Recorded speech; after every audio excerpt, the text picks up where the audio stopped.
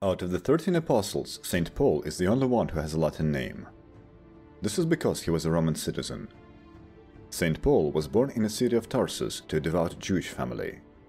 His name at birth was Saul, and the biblical accounts still use this name until a couple of years after his conversion to Christianity. He is first called Paul after his journey to the island of Cyprus. During his time on the island, he converted the Roman proconsul of Cyprus, Lucius Sergius Paulus. The proconsul had likely granted Saul his Roman citizenship. The Roman custom dictated that recipients of citizenship adopted the name of the official who sponsored it. The Romans didn't use the full legal form in conversation, but only referred to each other by the third part, the cognomen. Saul's newly gained cognomen was Paulus, and he started to use this name in his writings after the journey to Cyprus. So that's why we know him today as Saint Paul.